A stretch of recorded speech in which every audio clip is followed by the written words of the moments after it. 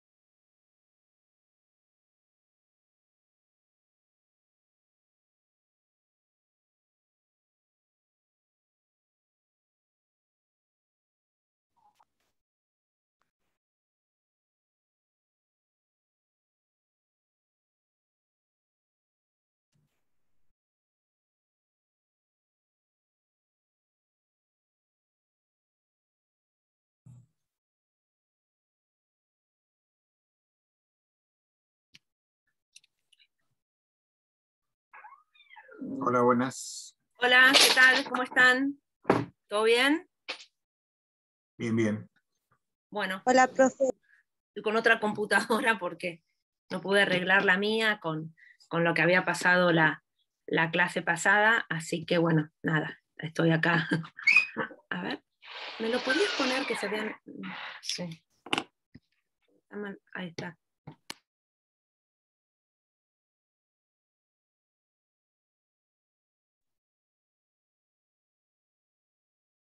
Bueno, perfecto.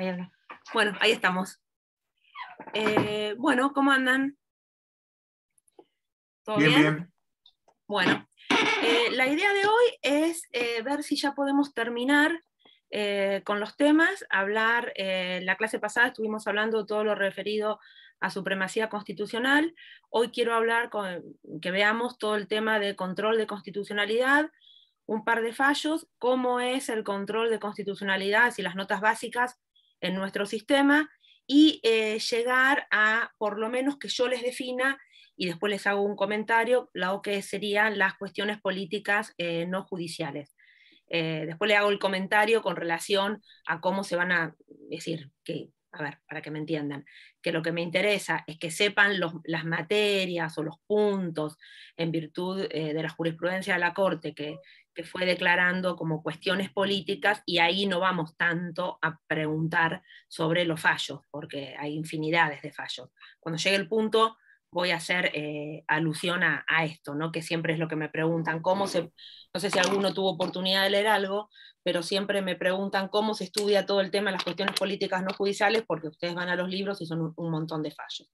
Así que ahora en un ratito, cuando lleguemos a ese punto, eh, se los comento. Bueno, la idea es terminar hoy, así ya les queda el día antes, el miércoles antes del examen para repasar. Así que bueno, si, por eso quise empezar bien puntual, así más o menos están conectados, casi todos, o una gran mayoría, así arrancamos. Están saliendo de otra clase. Eh, ah, claro, lo que pasa es que ya estamos acá, eh, claro, justo ya estamos en menos 10. Eh, bueno, si no la primera parte después se, la pasan. Voy a tratar igual de em, repetir algunos conceptos que vimos la, clase pasada. ¿Se acuerdan que cuando yo, la clase pasada, yo les definía lo que era supremacía de la Constitución? Yo les comentaba que es la particular relación que se encuentran las normas dentro de un ordenamiento jurídico. Y eso, esto es lo que definimos como supremacía la clase pasada. Y eso implicaba como varias cuestiones, y una de ellas que hablamos, creo que al final de todo, yo les comenté que era la eh, necesariedad de un sistema de control o un sistema de fiscalización que permitiese en definitiva eh, controlar eh, esta relación de supra-subordinación. ¿Por qué? Porque yo les decía que en el caso que no existe este sistema, la supremacía sería simplemente una cuestión teórica, es decir, establecida en el artículo 31, que se acuerdan que lo vimos bien en la clase pasada, pero después no verificable en los hechos. Entonces, ¿qué quiero decir con todo este conjunto de palabras? Que también tenía la luz encendida. Que en caso que eh, exista eh, un conflicto entre eh, la Constitución y normas eh, infraconstitucionales, infraconstitucionales por debajo de la Constitución, debe existir, yo les comentaba la clase pasada, un procedimiento, un órgano y una vía para resolverlo. Esto no surge del artículo 31, pero sí surge un poco, que algo hemos visto, del artículo 116 de la Constitución Nacional. Eh, del 116, que lo hemos leído, es este que establece que, en definitiva, el Poder Judicial es el que le corresponde la decisión de todas las causas, ¿no? Y algo, algo hablamos la clase pasada. Del juego, miren lo que les digo, del artículo 116 y del 31, es decir, de la competencia del Poder Judicial con el 31, que es supremacía, surge esto que vamos a hablar hoy, que es la doctrina del control de constitucionalidad. ¿Qué les quiero decir con esto? Que si ustedes van a la Constitución propiamente dicha, no van a encontrar un artículo que se refiera a control de constitucionalidad, como si encontramos el 30 para reforma o el 31 para supremacía. Entonces, un poco del juego o armonizando estos dos conceptos, por un lado el artículo 31 y por el otro lado el artículo 116, eh, surge la doctrina del control de constitucionalidad. Esperen un segundo que voy a abrir la cortina, estoy no me veo, estoy... Está bastante nublado. Aparte, soy sincera, estoy con dos almohadones así porque estoy con una computadora que me presta para verme. Entonces queda claro, el control de constitucionalidad es como que citamos, armamos el, con el 31 y el 116. ¿Se acuerdan que yo la clase que pasada les dije que la supremacía de la Constitución y de los tratados, este bloque de constitucionalidad que se encuentra en el primer peldaño que, vimos, tiene que estar asegurada, entonces yo le decía, mediante algún mecanismo de control, de fiscalización que permita que las normas inferiores se ajusten a las normas superiores. Y en caso que exista, y ahora ya empiezo a avanzar eh, un poco más ya para lo que es control. Y en caso que exista un conflicto, tiene que en el sistema, tenemos que encontrarnos con algún poder, que ese poder sea en definitiva independiente o distinto al poder que creó esa norma. Y que en definitiva ahora vamos a ver qué es lo que tiene que hacer. Entonces, les estoy como tirando todas ideas como para llegar a lo que es eh, control de constitucionalidad. Entonces, si existe contradicción entre las normas que forman el primer bloque, constitución, eh, constitución más los tratados internacionales eh, de derechos humanos con jerarquía constitucional, y las normas del segundo, tercero, cuarto bloque, tiene que existir un poder que tenga en sus manos la posibilidad de cotejar, en definitiva, esta infracción entre una norma del primer peldaño, por ejemplo, y una del quinto, y en definitiva, una vez que coteja este, esta infracción, esta violación, tiene que eh, siempre priorizar la supremacía de la Constitución y dejar de lado esa norma o ese acto infraconstitucional. Entonces, para irnos más o menos eh, armando el concepto, podemos decir que este, eh, este poder, ustedes más o menos de lo que hemos hablado en las clases pasadas ya tienen la idea, tiene que ser eh, este órgano diferente al órgano que creó la norma, eh, no puede el mismo órgano, el que crea la norma, controlar la constitucionalidad de la norma, y es en que en definitiva tiene que realizar esta comparación o este cotejo de eh, la norma de la Constitución Nacional y la norma impugnada, y siempre en definitiva hacer prevalecer la supremacía constitucional. Eh, como concepto eh, de, control de constitucionalidad podemos decir que consiste en cotejar, o sinónimo comparar, la norma o acto impugnado con la norma suprema y en el supuesto de constatar una incompatibilidad formal o sustancial, desplazar a los primeros a cuyos efectos se los declara inconstitucionales. Eh, importante determinar que se ejerce el control cuando se realiza la comparación o el cotejo. Fíjense que yo utilizo los dos términos como sinónimos, ¿no? Comparación o cotejo entre esta norma constitucional o una norma del primer peldaño con, por ejemplo, un decreto del Poder Ejecutivo.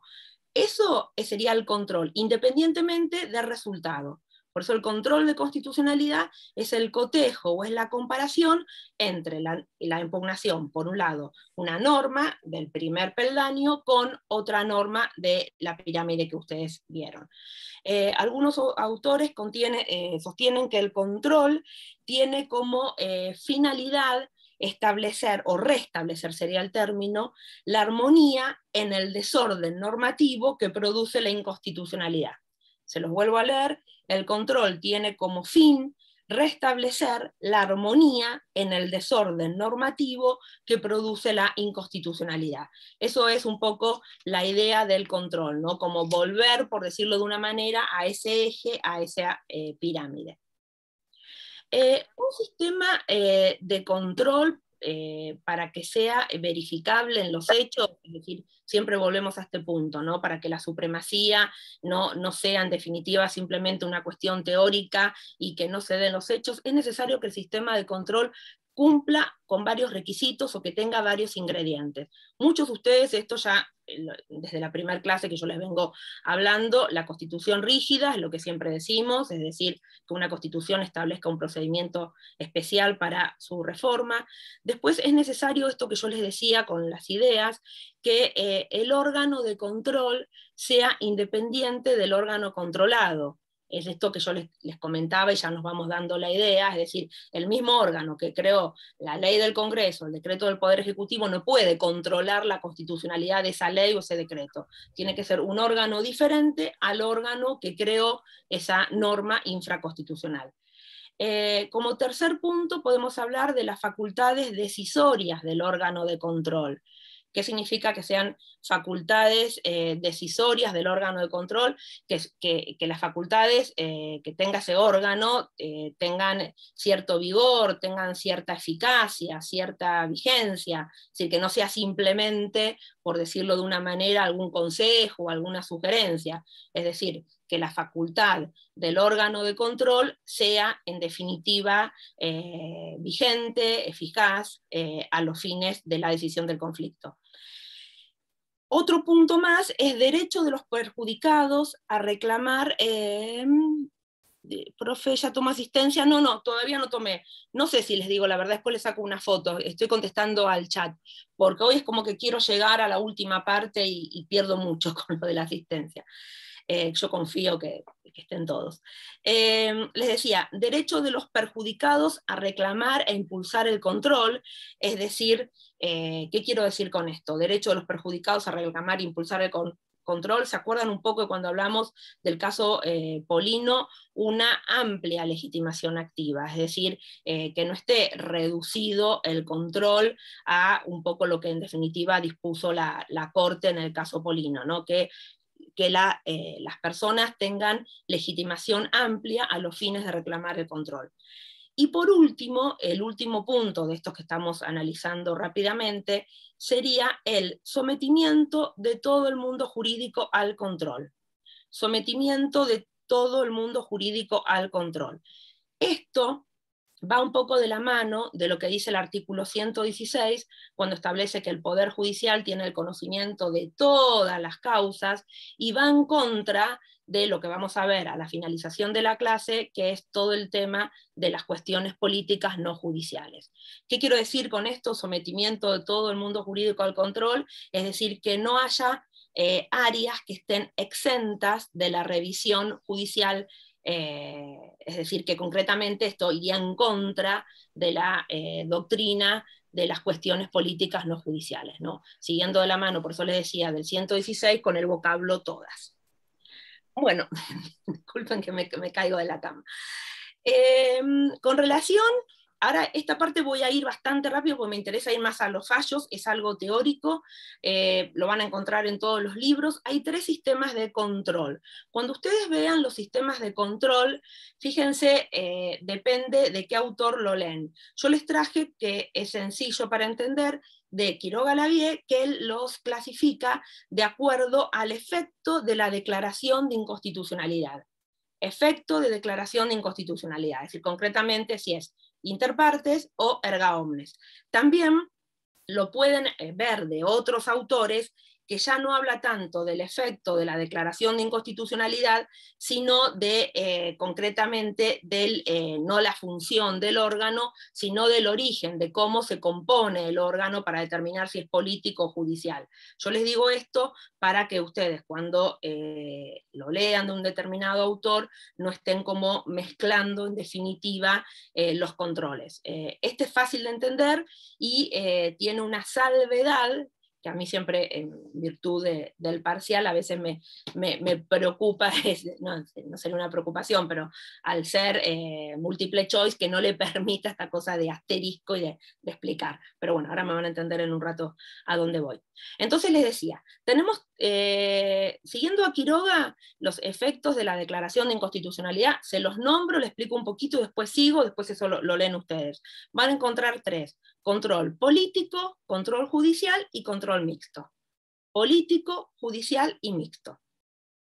Político eh, es el sistema mediante el cual las normas eh, son invalidadas con efecto erga omnes. Son invalidadas o nulificadas, efecto erga omnes, es decir, para todo el mundo. No se circunscribe al caso, al caso concreto, es decir, las partes que intervienen. Eh, van a encontrar que hay determinados órganos para ejercer el control, generalmente esto se da mucho en Europa, y eh, dentro de este sistema, del sistema político, van a encontrar como dos grandes eh, subespecies, que sería el reparador y el preventivo.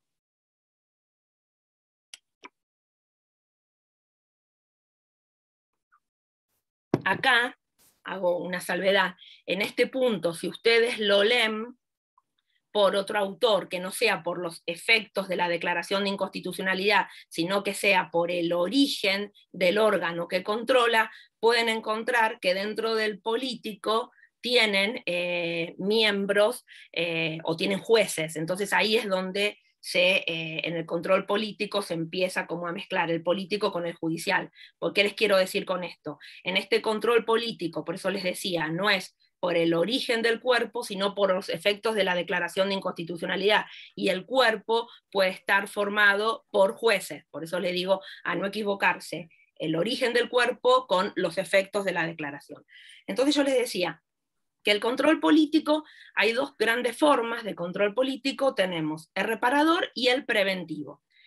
El reparador sería, eh, se efectúa el control eh, eh, para, para casos que las normas ya estén sancionadas, ya se, se, hayan aplicado o no, pero es para normas que ya fueron sancionadas por el Poder Legislativo. Y siempre, por supuesto, el efecto se produce a futuro, ¿no? No se puede revertir la declaración de inconstitucionalidad en el pasado. Y el preventivo sería para proyectos de norma, es decir, que están en trámite de aprobación, para evitar concretamente que se sancione por parte del Poder Legislativo, es decir, contra proyectos de normas que están en trámite de sanción para evitar que esto último ocurra, es decir, que queden sancionadas. Eh, después en un rato vamos a ir concretamente cómo es en nuestro sistema. Entonces quedó claro control político con estas eh, dos especies. El político puede ser reparador o preventivo. Control judicial sería el segundo. Eh, les decía que generalmente quien ejerce este control son los jueces, pero lo importante acá de determinar que el efecto de la declaración de inconstitucionalidad es efecto interpartes, es decir, solamente para las partes involucradas en el proceso. Eh, este sistema es el que em, comenzó en Estados Unidos, en un rato lo vamos a ver, con el caso Marbury con Madison, y eh, la Corte nuestra fue la que eh, recepta esta jurisprudencia, ¿no? el control judicial. a su vez, el control judicial eh, según los órganos que lo ejercen, puede ser concentrado o difuso. Concentrado cuando, eh, cuando este control le corresponde a un órgano especial ejercer el control de la constitucionalidad de las normas. Es decir, es un órgano especializado eh, fuera del Poder Judicial el que va a ejercer el control de la constitucionalidad de las normas. En cambio, difuso, cuando lo puede efectuar cualquier juez, como hemos hablado un poco en la clase pasada, eh, pero acuérdense también lo que les decía, ahora después cuando veamos bien el nuestro se los voy a explicar, por supuesto, cualquier juez, de cualquier magistratura, de cualquier especialización, pero siempre el difuso en algún punto a través de recursos extraordinarios se termina concentrando cuando el caso eh, eh, se interpone algún recurso ante la Corte Suprema de Justicia de la Nación. Entonces el difuso, en definitiva, a lo último siempre se termina concentrando. Pero quedaron, me dicen si voy muy rápido o no. Em, pero bueno, la idea es que me entiendan también, obvio, y llegar al final, ¿no? Eh, ¿Vamos bien ahí? Eh, según el ah, órgano. Sí, sí, sí, sí. Concentrado y. Sí. Eh, el control político me quedé que era reparador y... y preventivo. Bien, gracias. El concentrado y difuso es el mixto, ¿no? No, no, no, no. Esperen. Ah, el político, yo les, definí rápidamente qué era y puede ser reparador o preventivo. El judicial, les dije, de acuerdo a los órganos que lo ejercen, puede ser concentrado o difuso. Seguimos en el judicial. Está bien, está bien. Después, después, le voy a, después lo voy a complicar un poquito por la postura de Quiroga, pero eso en un rato. Y eh, seguimos en el judicial según la vía eh, utilizada para ejercer el control, según la vía utilizada para ejercer el control, seguimos en el judicial, vuelvo a decir esto, puede ser vía a través de vía directa o vía indirecta o incidental. A través de vía directa o a través de vía indirecta o incidental. De vía directa es a través cuya acción de la vía directa eh, es a través de una acción o a través de una demanda, no, importa acá ustedes los términos procesales todavía, pero lo importante es determinar que esa acción o esa demanda, el único objeto es cuestionar la constitucionalidad de una norma. Es decir, es una acción o una demanda, una pretensión, como ustedes le quieran decir, pero que la finalidad que tiene es exclusivamente cuestionar la constitucionalidad de una determinada norma. Eso sería por vía directa. Y por vía indirecta o incidental, sería a través de excepciones, toman, eh, es decir, sin entrar en, en lo que es el procedimiento, pero tomen este término excepciones en sentido amplio, serían excepciones que se interponen en el proceso principal, que el proceso principal puede ser de daños y perjuicios, de desalojo, un juicio laboral, es decir, serían eh, em, con el fin de controlar la constitucionalidad, se interponen estas excepciones dentro del proceso principal con el fin, en definitiva, de cuestionar la constitucionalidad de una norma. Por eso tomamos excepciones, eh, a ver, para que se entienda en sentido amplio. Yo no voy al Código Procesal Civil y Comercial y decirle cuáles son una por una las excepciones, pues ya tendríamos que hablar de procedimiento.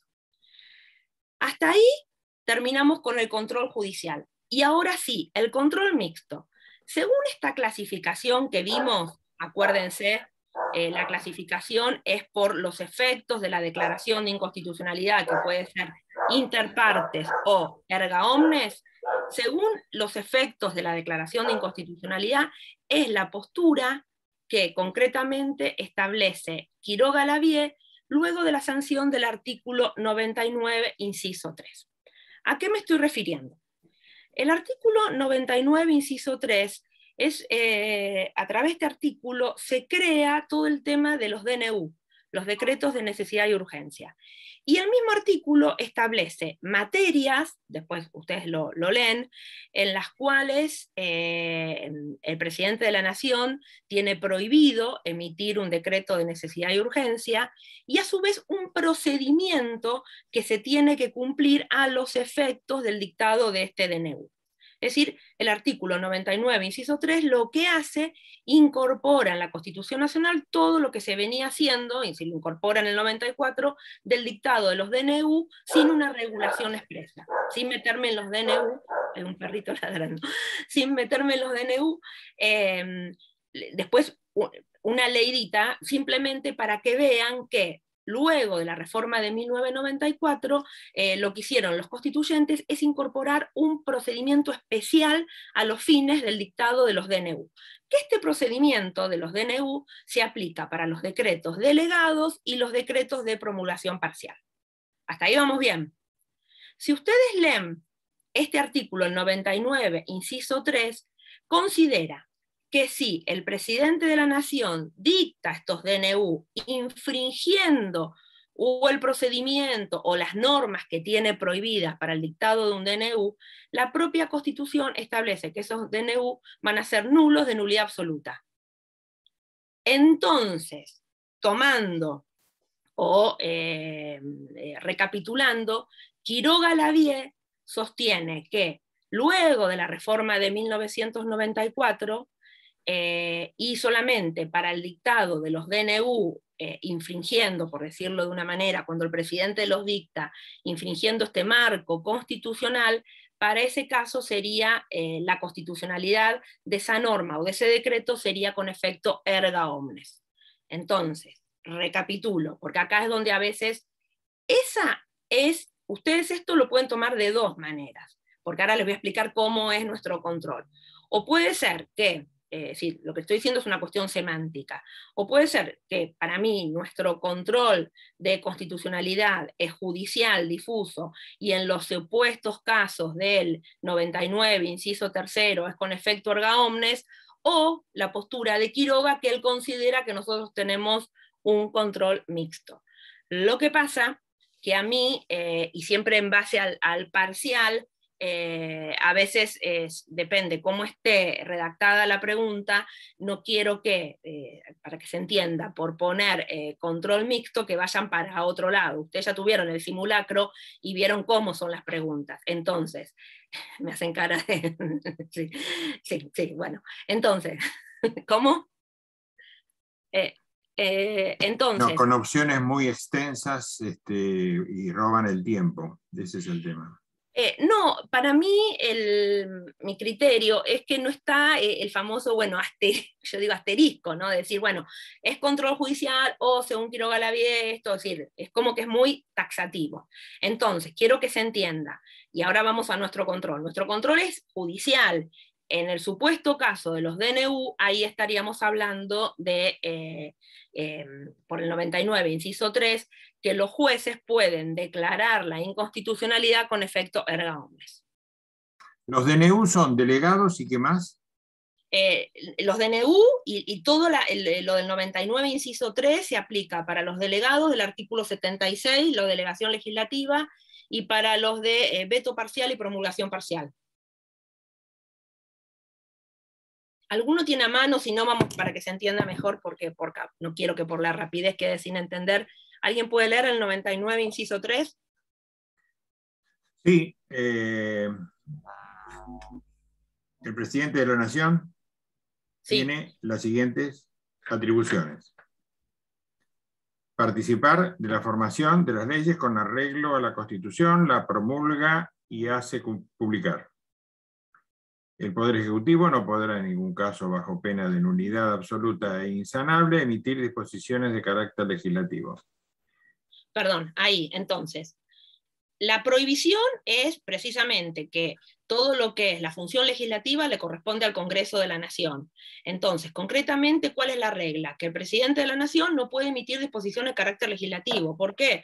Porque es una función exclusiva de nuestro poder legislativo. Entonces, si las emite, la pena es nula, de nulidad absoluta o insanable. Después nos da la opción de cómo lo puede emitir si puede Alberto seguir leyéndolo.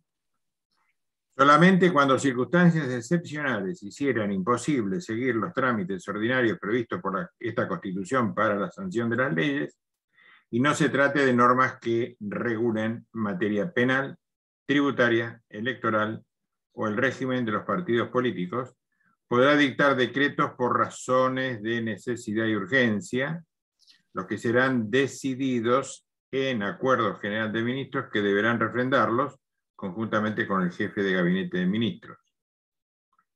El jefe de gabinete de ministros personalmente y dentro de los 10 días someterá la medida a consideración de la Comisión Bicameral Permanente, cuya composición deberá respetar la proporción de las representaciones políticas de cada Cámara. Esta comisión elevará su despacho en un plazo de 10 días al plenario de cada Cámara para su expreso tratamiento el que de inmediato considerarán las cámaras. Una ley especial sancionada con la mayoría absoluta de la totalidad de los miembros de cada Cámara regulará el trámite y los alcances de la intervención del Congreso. Fin. Bueno, todo este artículo 99, inciso 3, es lo que yo les decía, fue incorporado por la reforma de 1994 con el fin de regular los DNU que se venían dictando desde Alfonsín y no tenían regulación expresa en la Constitución Nacional. Entonces, vuelvo y ahora sí entro eh, en cómo es en nuestro control en la República Argentina. Entonces, Quiroga Lavie lo que sostiene es que teniendo en cuenta eh, esto que leyó Alberto con relación a que es pena insalvable, él considera que para el supuesto caso que el presidente de la Nación dicte un DNU que también se aplica en forma eh, análoga para los eh, decretos delegados y para los de promulgación parcial, en ese supuesto sería eh, con efecto la declaración de inconstitucionalidad con efecto erga omnes. Es decir, concretamente, si el presidente de la Nación dicta un DNU de una materia que está prohibida por el propio artículo. Esa es la postura de eh, Quiroga Lavie con relación solamente para los casos de eh, los decretos de necesidad y urgencia. Eh, en nuestro control, ya se los voy anticipando, es, eh, es, judicial con esta excepción o es mixto, de acuerdo a, qué postura en definitiva estoy diciendo lo mismo con diferentes títulos. Eh, es un control judicial este control eh, fue eh, receptado eh, a través de, o, a través de la Corte de los Estados Unidos de Norteamérica.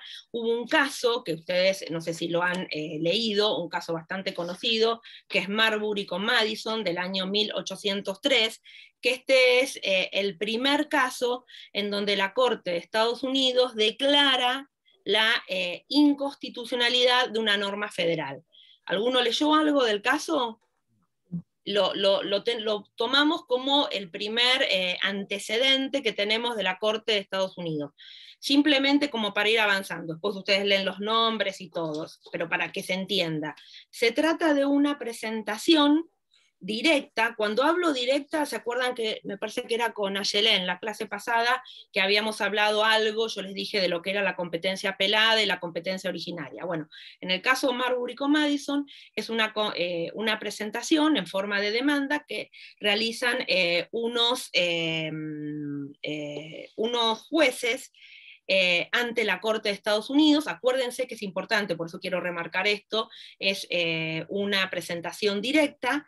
Habían sido designados por una determinada administración pero los nombramientos no se habían hecho efectivos cuando asumieron las nuevas autoridades. Es decir, habían quedado, eh, habían sido designados por la administración saliente, pero concretamente cuando asumen las nuevas autoridades todavía no habían podido eh, jurar en el cargo, ¿no? Eh, hacerse cargo de, en definitiva de, de sus puestos. ¿Qué es, ¿Qué es lo que hacen directamente? Presentan en forma de acción una eh, demanda ante la Corte de Estados Unidos porque ellos consideraban que una ley de organización de la justicia federal, fíjense, ley, ya una ley del Congreso, una ley de la, de la organización de la justicia federal, podía permitirle que eh, a través de, eh, en definitiva, de un ministro de corte haga esta designación. ¿no? Ellos se amparan en esta ley, no importa el número, es una ley de organización de la justicia federal de Estados Unidos.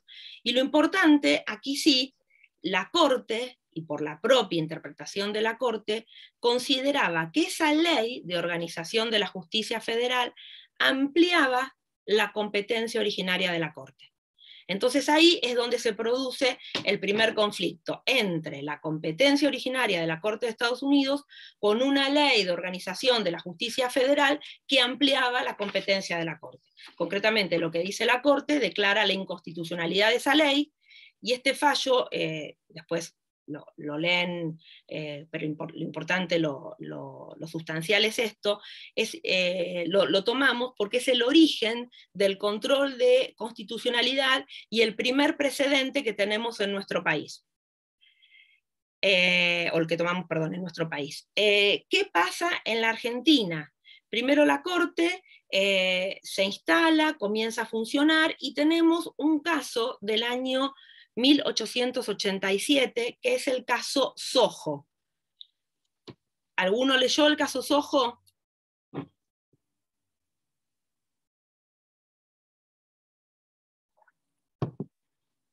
Bueno, eh, para seguir avanzando. Lo importante, el caso Sojo, fíjense, lo, lo citamos lo citamos y no como primer caso. ¿Por qué les digo? Porque en el caso Sojo se reafirma nuevamente la facultad de control, pero la mayoría de la Corte desestima la acción por entender que no tenía competencia originaria en esa causa. Es decir, ¿Qué quiero decir con esto? Se reafirma la facultad de control que, que municipalidad en el que sigue con el ortondo, lo vamos a ver bien, que el control está en manos de los jueces, lo, que la Corte después termina diciendo en municipalidad con el ortondo, pero como es un caso que le rechazan en definitiva la acción porque precisamente no estaba en juego la competencia originaria. Entonces, para que se entienda. Tomamos ahí sí como primer caso en donde se declara la inconstitucionalidad de una ley el caso de municipalidad de la capital federal con el Hortondo del año 1888. Municipalidad de la capital con el Hortondo del año 1888. Este es el primer fallo en virtud del cual se declara la inconstitucionalidad de una ley del Congreso General. ¿Alguno leyó Municipalidad con el Hortondo? Tampoco. Hoy como vi que en el, en el grupo estaban pasándose los fallos y eso, digo, bueno, capaz que alguno lo, había leído. Eh, bueno, ahora sí. ¿Cómo? Bueno, leí un poco así por arriba eh, el conflicto en realidad era por si era parcial la expropiación. Bueno, primero eh, es el trazado de la Avenida de Mayo, Bien. donde se realiza una expropiación y eh, el Hortondo se presenta demandando que en realidad es una porción de, la de, toda la propiedad, es una fracción y no todo el, todo el entero del inmueble pero la municipalidad en realidad había, mm, con la ley de expropiación, incluía el inmueble en su totalidad. Este, por eso al final, bueno, en el fallo eh, no dan al lugar porque mm, consideran que es la totalidad del inmueble, no una fracción. Eh, bueno, eso fue más o menos por arriba. Está, eh, bien. Y que aparte en, en, el fallo ellos reconocen, es decir, el Hortondo reconoce eh, que hay una ley, que, estaba la ley de expropiación y reconoce em, en realidad la expropiación de parte del inmueble. Este, entonces, cuando, cuando contestan, eh, contestan diciendo, en realidad, la Corte contesta diciendo que, que la misma demandada estaba reconociendo esa expropiación. Está bien. más o menos general, hay mucho más, pero bueno. No, no, está bien. Hay, partes que, eh, eh, como para, pero está bien guiado. Los hechos concretamente, a través de una ley del Congreso, eh, como decía María Teresa, a través de una ley del Congreso de la Nación, se declaró la utilidad pública de una franja de 30 metros destinada a abrir lo que hoy es la Avenida de Mayo. Eh, pero a través de esa ley, fíjense que acá es la parte capaz que como más complicada, se hizo extensiva esa declaración de utilidad pública a los terrenos adyacentes que la municipalidad de, en ese momento era Capital Federal, juzgara necesarios e indispensables en virtud de un orden eh, general, ¿no? Como orden general es en definitiva lo que tiene que tener la ley de expropiación. Entonces, la ley es como que es propia, pero también delega, que ese es el punto más conflictivo, en la municipalidad de Capital Federal, que eh, podía expropiar los terrenos que considere necesarios a los fines de la utilidad pública. Eh, la viuda del Hortondo, que era eh, la, propietaria que estaba afectada, porque como decía María Teresa, en definitiva tenía su propiedad, contesta la demanda iniciada por eh, la Municipalidad de, Capital Federal porque precisamente sostiene la inconstitucionalidad de esta ley de expropiación, esta ley del Congreso, porque le expropiaron determinado terreno de su casa, eh, por esto que les digo, la delegación que hace la municipalidad, y eso que, eh, eso que ese terreno adyacente no fue utilizada en esa obra pública. Entonces, ese es el punto capaz ahí eh, medular. No lo que se expropia para, en definitiva, hacer la Avenida de Mayo, sino esa delegación que la ley realiza en la Municipalidad de Capital Federal de expropiar los terrenos adyacentes, pero que después lo que dice la viuda del Hortondo no se utilizaron, en definitiva, para la obra pública de interés general. Entonces, importante a determinar, la mayoría de la Corte hizo lugar a la inconstitucionalidad esta de, la ley del Congreso, precisamente porque, y acá es lo que yo quiero eh, que tengan en cuenta, eh, por eso lo citamos como primer fallo. Primero y principal, que son los jueces los que, son, eh, los que están encargados de controlar la constitucionalidad de las normas. ¿Por qué les digo esto? Ustedes ahora eh, me refiero, en el 2021 se cae de Maduro, que son los jueces, pero, insisto, cuando, como no tenemos una norma concretamente que nos esté determinando que son los jueces, y yo les venía diciendo que todo lo del control de constitucionalidad lo fuimos, eh, o se fue armando, por decirlo de una manera, con el 31 y el 116, bueno, lo, que hace la Corte, en el caso municipalidad con el Hortondo, ratifica precisamente que son los jueces los encargados de controlar la constitucionalidad de las normas. Después, otro punto importante que, eh, que, dice la Corte en el caso municipalidad con el Hortondo, habla de comparación o cotejo que es estos puntos que cuando eh, hace un ratito yo les definía lo que es control de constitucionalidad, les decía que es la comparación o cotejo entre esa norma constitucional y la, esa norma infraconstitucional. ¿no? Entonces, los jueces en municipalidad con el Hortondo concretamente hablan de comparación o cotejo. Y ahora les leo otro punto más, pero importante que dicen los jueces, es que eh, se tienen que, en definitiva, abstenerse de aplicarlas si están en oposición con la Constitución, abstenerse de aplicarlas si están en contradicción con la oposición. ¿Qué les quiero decir con esto? Que en definitiva, si existe un conflicto entre una norma de la Constitución y otra norma infraconstitucional, siempre que se tiene que resolver el conflicto a favor de la supremacía constitucional.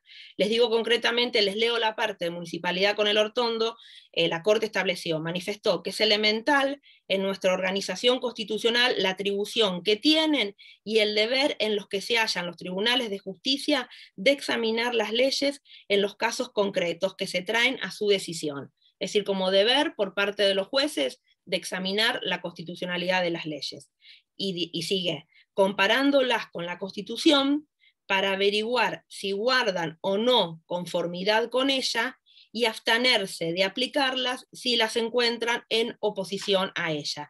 Es decir, esto que yo les decía cuando definíamos el control, ¿no? La comparación o cotejo entre la Constitución y la norma infraconstitucional y siempre en el caso de conflicto darle prioridad a la supremacía de la Constitución y abstenerse de aplicar una norma si va en contra de lo establecido en la Constitución. Concretamente, esa norma que afectaba del ortondo, ¿cuál era el derecho que se le afectaba?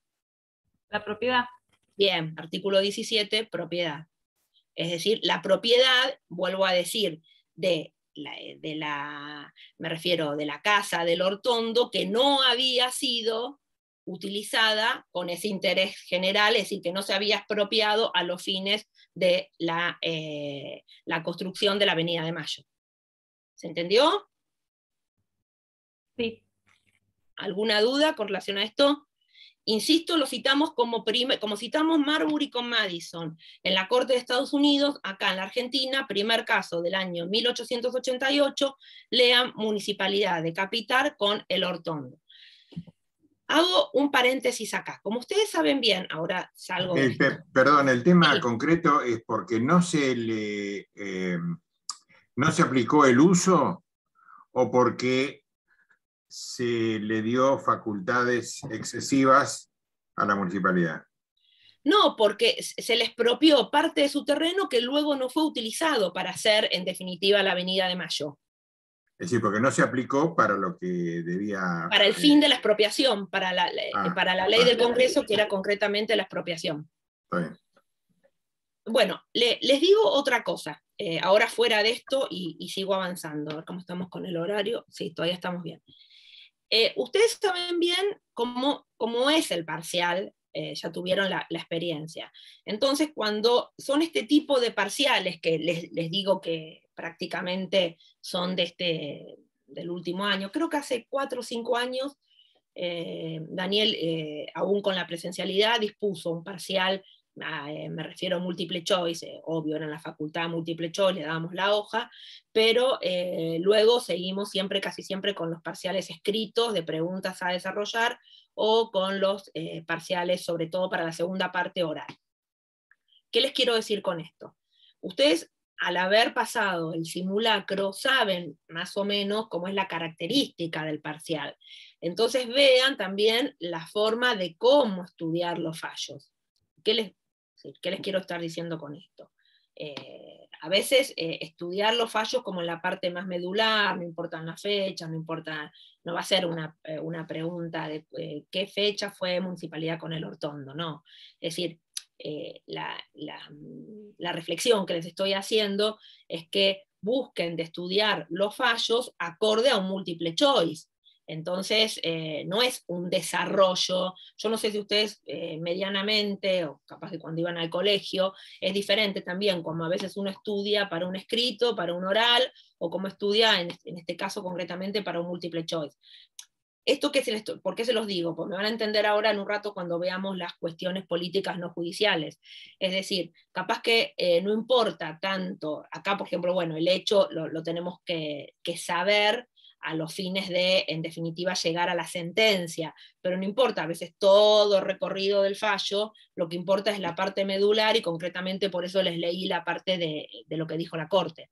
¿Se entiende a dónde voy? La forma de estudiar el fallo a los efectos de un múltiple choice, eh, que es diferente cuando esta materia, por ejemplo, te la dábamos ustedes eh, escrito, generalmente siempre el primer parcial es escrito, a desarrollar, eh, puede ser un caso, por ejemplo, caso Polino o municipalidad con el Ortondo y ustedes desarrollan. En este caso, como es múltiple choice, lo tienen que eh, estudiar de, alguna manera que se entienda y que pueda ser a los efectos de contestar la pregunta. Si ¿Qué les quiero decir? Concretamente, yo capaz que iría más a la, sí a los hechos y a la sentencia de corte. Eh, y saber bien cómo funcionan las cosas, como, porque la pregunta, ustedes lo vieron, es muy, es corto, bueno, me refiero corto el tiempo, es rápido, es ágil, entonces tienen que ir a lo medular concretamente de los fallos. Eh, ahora lo medular es la resolución, ¿no? Y que se entienda y entenderla bien la resolución. Me ponen cara uno. yo los veo de acá, me ponen como diciendo de qué me está hablando. Porque el punto es ese, ¿no? Que cuando estamos en un múltiple choice... Eh... a mí lo que me pasa es, bueno, eh, por suerte una compañera pasó la, la foto eh, y más o menos ahí pude ver de qué se trataba porque no, no pude participar eh, en la media hora que tenía para... Entonces, con lo que vos me decís, es, no sé, como que me da más susto. No, no, al contrario, yo con esto los quiero ayudar, no asustarlos.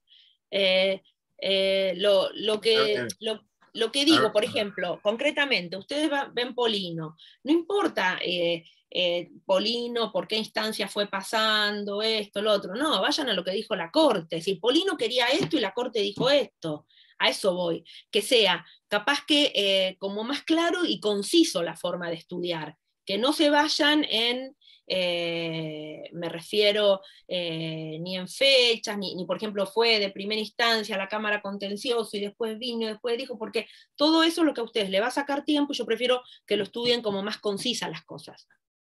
Sí, pero una, una cuestión. Las resoluciones tienen consideraciones. Sí. Digamos en lo formal de las resoluciones. En el caso de los fallos, las consideraciones están dentro del fallo. Dentro de la resolución, perdón.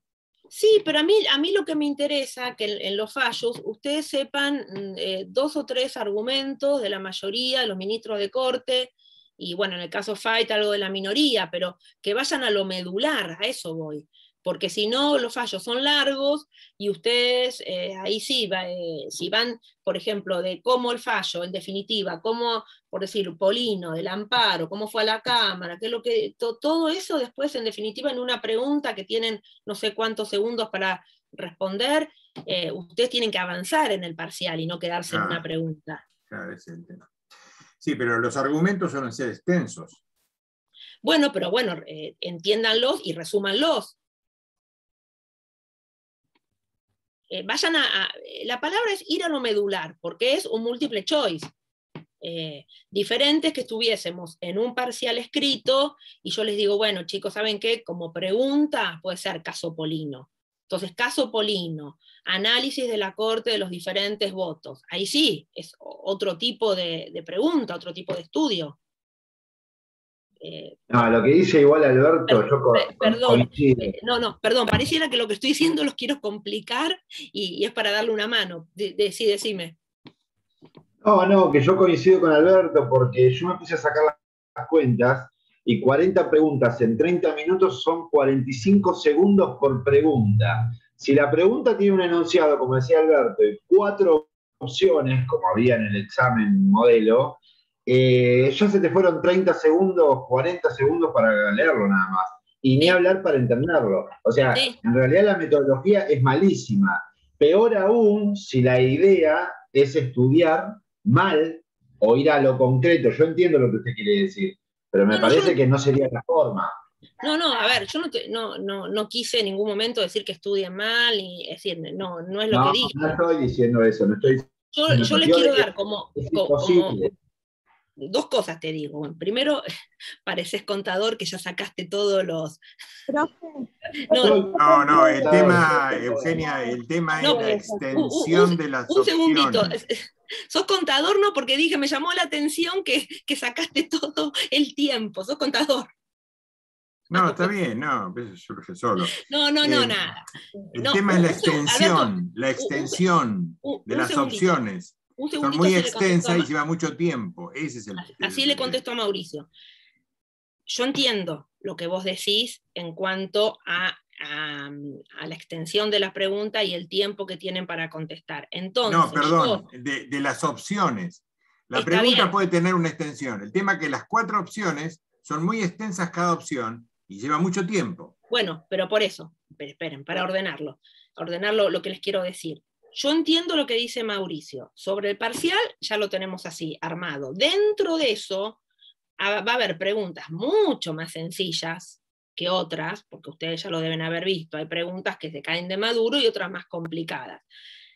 Eh, no, a mí particularmente, si vos decís, capaz que no es la forma que más me gusta de, en cuanto a evaluarlos, pero yo lo que quiero ser clara en lo siguiente. Si ustedes vieron la forma que se tiene de evaluar, entonces, no, no pierdan, es decir, yo no te estoy diciendo que estudies mal ni eso, yo te estoy diciendo que estudien que vaya medio de la mano con la pregunta que en definitiva tienen que contestar, que es otra forma de estudio.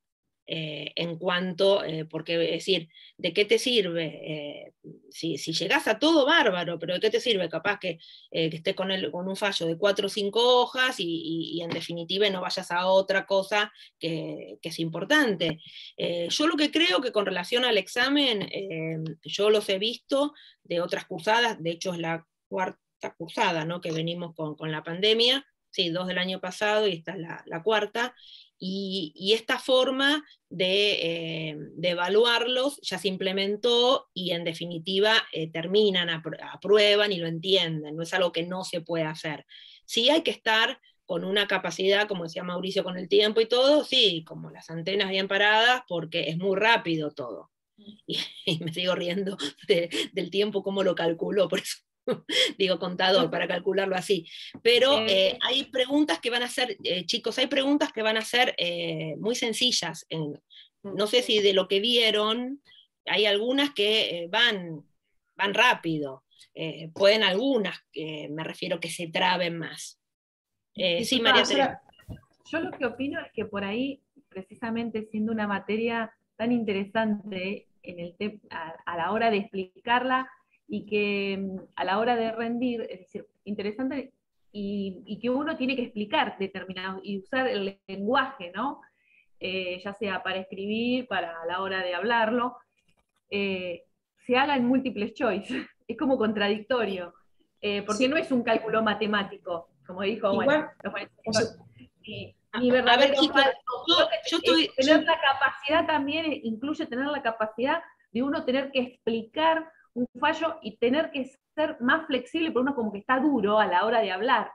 Pero es como este, todo eso igualmente, porque supongo que, o sea, eso está en cada uno, porque uno puede quedarse con lo que vio en clase, después uno lee aparte los este, contenidos y demás. Yo incluso estoy averiguando que en otras universidades públicas, más en salud, es todo multiple choice, digamos, se evalúan en la mayoría, sí, todo choice, choice, choice pero no en pandemia, con o sin pandemia, o sea, es el sistema que evidentemente como que se está aplicando ahora.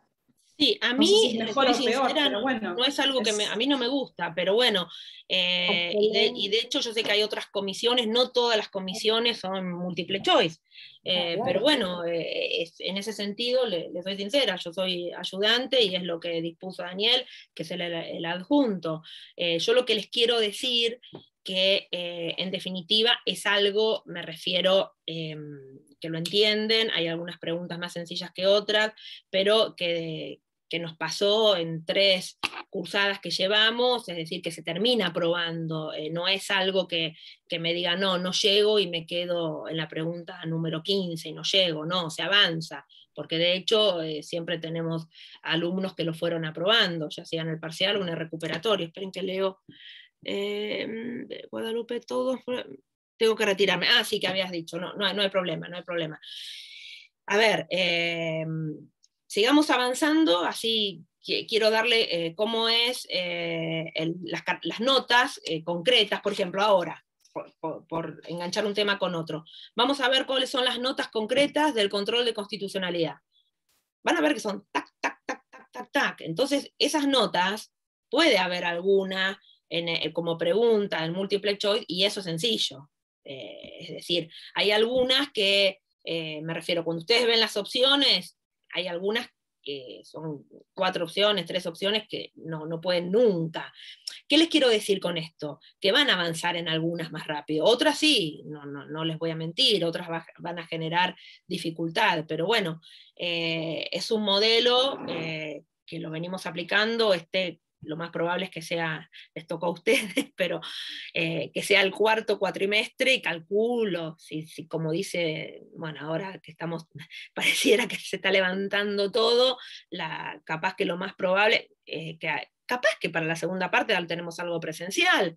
Eh, de hecho, yo estoy haciendo el, posgrado en la de jurisprudencia de corte en materia constitucional y, ahora ya nos avisaron que algunas clases de noviembre y la última de diciembre ya es presencial, así que capaz que ustedes enganchan primer parcial, múltiple choice y, y, segundo presencial, y ahí van a decir, ay, vuelvo al múltiple choice, porque el segundo habitualmente es oral. Entonces ahí dicen, no, qué bueno que era múltiple choice.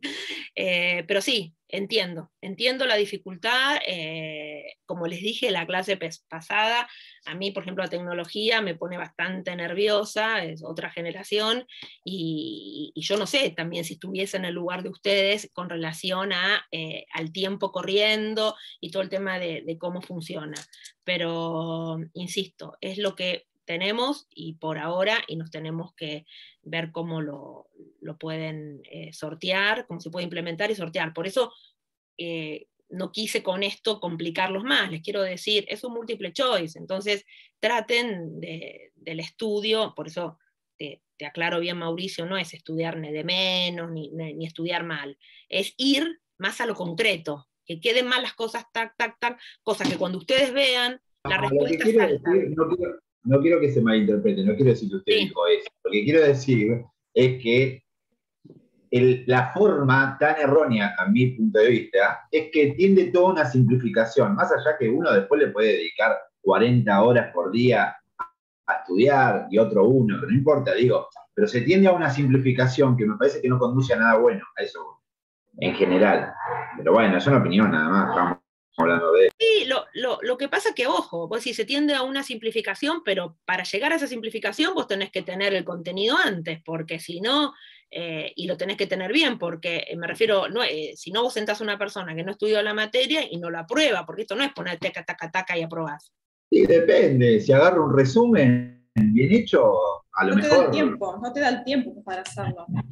No, no digo de copiarse, digo de estudiar un resumen directamente. Es una simplificación. Vos decís, estuve, eh, ¿cómo, eh, ¿cómo, es que le dicen esas eh, matrices? A ver, no importa, igual, lo que quiero decir es que el tiempo que nos achican es justamente cálculo que para que uno no se copie, como pensando que estamos en la universidad, si, si alguien se copia, no, bueno, ya es cosa de cada uno. No, no, yo no, lo veo, perdón, yo no lo veo solamente por copiarse. En 45 segundos es imposible leer una pregunta y, meditarla y razonarla y, plasmarla, por más que después el, el clic te lleve un segundo. ¿Me explico a eso? Sí, sí, sí, te entiendo. Salvo que vos tengas, por ejemplo, el tema muy estudiado, muy sabido, y enseguida cuando veas las opciones sepas cuál es, porque te salta así de más. Totalmente, totalmente. Sí, sí, por eso, pero digo, es una locura igual, es mi opinión. Sí, no, no, te entiendo, te entiendo y en parte lo comparto. Eh, Juan, que me quiso decir algo. Sí, perdón. Lo, que usted nos quiere decir es que estudiemos más definiciones en concreto. Claro. Bien. Sí, sí, sí. Eh, y más, bueno, ahora eh, sigo así, no sé, podemos aprovechar lo que queda de clase. por ejemplo, ahora vamos a ver las notas características del, del Poder Judicial en la Argentina. Entonces, eh, de estas notas, eh, alguna va a ir para, me refiero a preguntas, y son así, es judicial, es difuso, es esto, lo otro. Eh, entonces, esas preguntas me parece que las va a ayudar. Oraciones, cortas. Y comprendan los temas. Tal cual, bien. ¿Mm? Bueno, vamos así, que están quedando un ratito nomás. dos, dos cosas más. Es, em, ¿cuáles son las características básicas de nuestro control y quiero darle algo de las cuestiones políticas no judiciales. Entonces, ¿cómo, son las, ¿cómo es nuestro control? Es judicial, es decir, está a mano de los jueces. Acuérdense, eh, salvo un poco la postura de Quiroga Lavie con esto que era mixto. Es difuso. ¿Se acuerdan de la clasificación que yo les dije que podía ser concentrado, difuso? Bueno, nuestro control es difuso. ¿Qué significa esto? Que cualquier juez puede ser de primera instancia, segunda instancia, un juez civil, un juez penal, un juez laboral. Es decir, eh, cualquier, eh, cualquiera magistratura no es necesario una especialización que tengan en tema de control de constitucionalidad, sino que cualquier juez, como decía el fallo de municipalidad con el Hortondo, tiene el deber de controlar la constitucionalidad de las normas. Tercer punto, es reparador. ¿Se acuerdan que cuando vimos la clasificación yo les dije que podía ser preventivo o reparador? Bueno, en nuestro sistema no tenemos control preventivo, es reparador. ¿Qué significa esto? Es sobre una norma ya sancionada. ¿eh? No, no existe ese control para evitar que la norma se sancione. Eh, es concreto, otra característica, después las repasamos todas. Es concreto, es decir, eh, el control, cuando decimos que es concreto, se ejerce dentro de una causa judicial tomamos el término de causa, lo que establece el artículo 116. Es decir, el juez se tiene que expedir dentro de un juicio, dentro de una causa. Eh, quinta característica, no procede de oficio. ¿Vamos bien? si, voy medio rápido. ¿Cómo quinta? ¿Cuarta? Judicial, difuso, reparador, concreto. Y quinta, no procede de oficio, sí. Eh, les decía que ahora les explico esto. Eh, judicial difuso es una? No, porque puede ser judicial concentrado. Es judicial difuso. Una es judicial. Esa es una. La otra, es, reparador. Difuso dos. Ah. Reparador tres. Concreto. Concreto cuatro. No procede de oficio. Ahora les explico. No procede de oficio como que es clásica la jurisprudencia de la Corte que eh, el control de constitucionalidad de una norma lo debe eh, solicitar o lo debe pedir la parte interesada, es decir, eh, dentro de una causa judicial. Hay excepciones que procede el control judicial de oficio, y estas excepciones lo ha establecido la Corte cuando está en juego la propia competencia originaria. Es decir, para que se entienda, principio general, el control de constitucionalidad es a pedido de parte. Excepcionalmente puede proceder de oficio. Y esas excepciones la establece, hay dos o tres fallos que después lo leen, lo establece la Corte, no que lean todo el fallo, simplemente que se van a dar cuenta que esos fallos van a responder cuando, eh, sí, eh, Luana está bien, no hay problema, eh, cuando está en juego la propia competencia de la Corte. Entonces, ahí vamos bien, judicial, difuso, reparador, concreto y no procede de oficio. La vía, el número 6, les, les digo con número, así no nos queda ninguno pendiente. Vía incidental o indirecta. Vía incidental o indirecta ¿Qué les digo esto? A través de excepciones que se interponen dentro del proceso principal. Ese es el principio general, es, es a través de vía incidental o indirecta. También se puede dar por vía directa, que sería la acción de amparo o la acción declarativa de constitucionalidad acción de amparo o acción declarativa de constitucionalidad. Se los menciono, no es para que vayan a leer amparo, es decir, simplemente que sepan que nosotros tenemos, nuestra regla general es que eh, nuestra vía es vía incidental o indirecta. La excepción sería que a través de una vía directa, que puede ser la acción de amparo o la acción declarativa de inconstitucionalidad.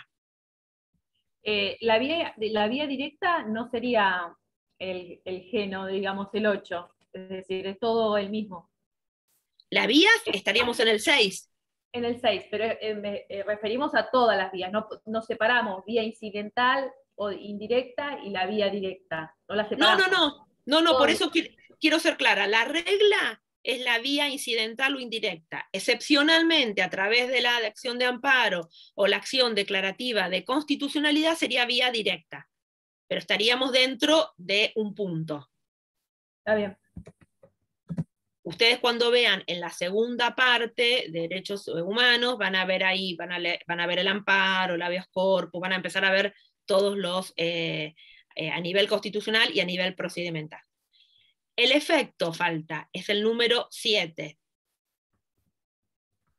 el em. efecto es interpartes, como veníamos diciendo, los efectos de la declaración de, la constitucionalidad o inconstitucionalidad de las normas es interpartes, salvo para el caso, ven como les hago otra vez la excepción, del 99, inciso tercero, lo que establece eh, Quiroga Lavie, que que en el caso de los DNU sería el efecto erga omnes. ¿Quedó? El efecto interpartes. Excepcionalmente para los DNU, por la postura de Quiroga-Lavie, tendría efecto erga omnes. Y el último... Un octavo. Sí, que nuestro control de constitucionalidad es incompleto porque, y ahora engancho con el tema que sigue, los jueces no pueden sustituir el mérito, oportunidad o conveniencia de los otros poderes políticos. Es decir, y para ir resumiendo, ¿por qué decimos que es incompleto? Porque está, lo que vamos a ver ahora, la doctrina de las cuestiones políticas no judiciales.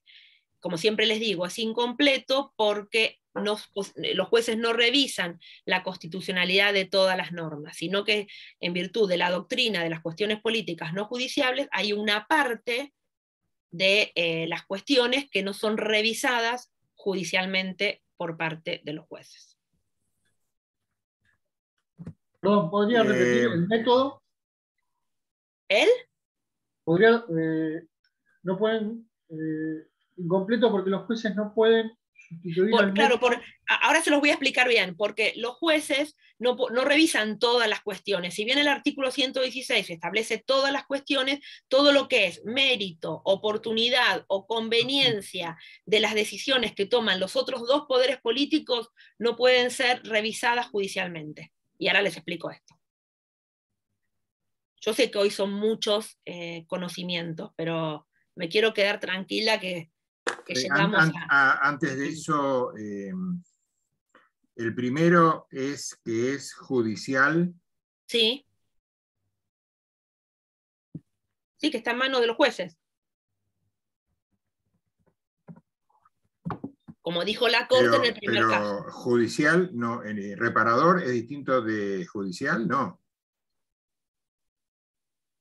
No, judicial es que está en manos de los jueces que nosotros no tenemos eh, un órgano encargado, eh, me refiero a un órgano especial formado por órganos políticos encargados de controlar la, constitucionalidad de las normas. En nuestro, en nuestro sistema, los jueces controlan la constitucionalidad de las normas. Y lo hacen a través del sistema difuso, cualquier juez. Y, no lo, y lo hacen a través de, y es reparador, es decir, una norma ya sancionada. Así como que lo van como armando, como un rompecabezas, por decirlo. O sea, la reparación, eh, la, prevención, lo difuso. Sistema, perdón, sistema reparador o sistema preventivo es lo que hablamos, ¿no? En nuestro caso es el sistema reparador.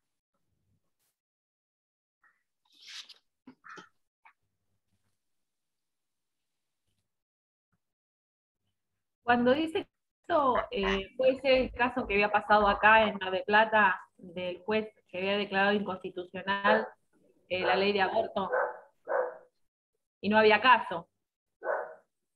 No, bueno, ahí es un caso de inconstitucionalidad de oficio. Pero no procede porque no, no puede ser de oficio. No, no, a ver, yo les dije que la constitucionalidad, por principio general, es a pedido de parte. En algunos supuestos, los jueces, por la propia jurisprudencia de la Corte, procede la inconstitucionalidad de una norma de oficio. ¿Qué es de oficio? Que no lo pide a la parte, sino el propio juez controla la constitucionalidad de la norma. Pero eso es la excepción. La regla es que la constitucionalidad se controla a pedido de parte, si parte interesada dentro de un proceso, como eh, pide la constitucionalidad, y en este caso la constitucionalidad de una norma, la inconstitucionalidad de una norma. Igualmente creo que en este caso lo habían comentado la otra vez, eh, no, en otro curso, ¿no? que en otra, cátedra, eh, que si bien lo había declarado un juez inconstitucional, era, había un, demandante, uno que una persona que se había presentado, pero no existía caso, no existía Claro, porque ahí en ese caso concreto creo que lo que dijo la Cámara Federal que no existía caso o causa en los términos del 116. Claro. Es decir, ¿qué significa eh, caso o causa? Que tiene que haber un expediente judicial, tiene que haber un conflicto, tiene que haber dos partes con intereses contrapuestos. Entonces, creo que en el caso del aborto, el juez López es el que está hablando, ¿no? En el caso del aborto, lo que dijo la Cámara, que no existía caso o causa judicial en los términos del 116. Bueno, en la parte... Sí. Es, a, es a pedido de partes, a su vez el efecto es interpartes, salvo en el DNU que es, eh, digamos, con efecto, digamos... Eh, Erga omnes, para Es el único caso, después es interparte, o sea que si yo declaro, digamos, si el, si el juez declara la inconstitucionalidad de una ley que yo estoy solicitando, porque creo que es inconstitucional, solamente esa inconstitucionalidad corre para mí, no para la sociedad en general. ¿Eso quiere decir? Tal cual, pero ¿qué pasa? Después, en el, es decir, hay, hay como varios temas ahí corre para vos, para, para en definitiva, para, las partes involucradas en el proceso. Pero después te vas a encontrar que capaz que otro juez, en, en otro caso, con dos partes controvertidas, vuelve a declarar la inconstitucionalidad de la norma. Y en otro caso se vuelve a declarar la inconstitucionalidad de la norma. O en mi caso sirve Como, como, como, como, jurisprudencia para otro caso, digamos, eso sería. No, para, para que todo esto no se mezcle. La jurisprudencia, quien a vos te marca la jurisprudencia, es la jurisprudencia de la Corte Suprema, que después termina siendo doctrina legal. Puede ser que un juez, ponele, un juez civil de Mar del Plata declaró la inconstitucionalidad de una norma. Después, un juez de Bahía Blanca, un juez acá civil, otro un juez penal, la inconstitucionalidad de una norma. Así se va como repitiendo.